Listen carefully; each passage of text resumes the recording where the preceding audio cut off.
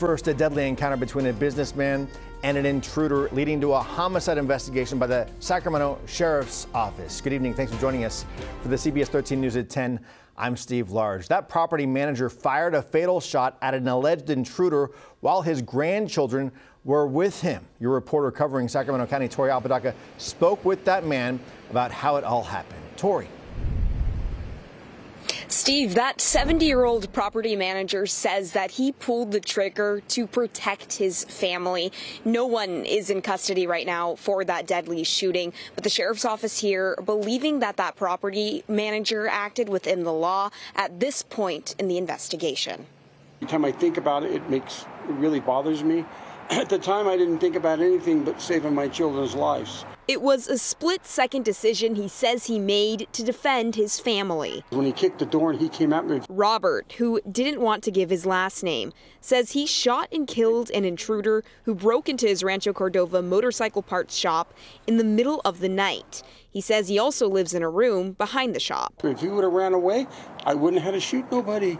I'd live with the broken windows and broken doors. But he continued to go at me.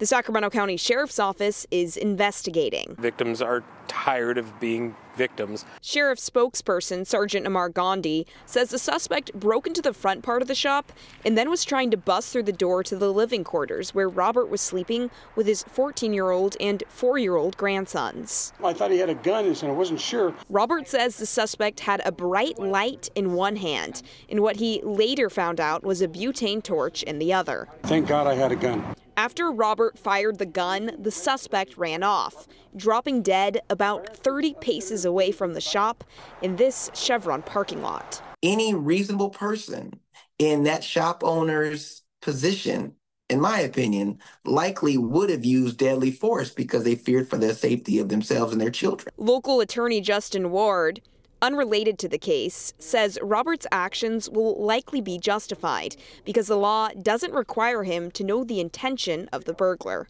You're not going to hope that this is a nice burglar and he's just going to say, oh, sorry, I didn't realize you were here. I'm going to leave now. You don't want to have to do this. You know, the rest of my life, I got to live with it.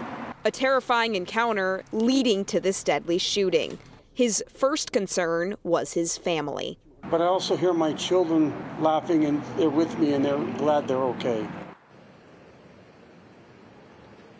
Now, the sheriff's office could not confirm if that suspect had any weapons on him. He has not been identified yet. Very scary situation. All right, Tori Apodaca live in Sacramento for us tonight. Thanks, Tori.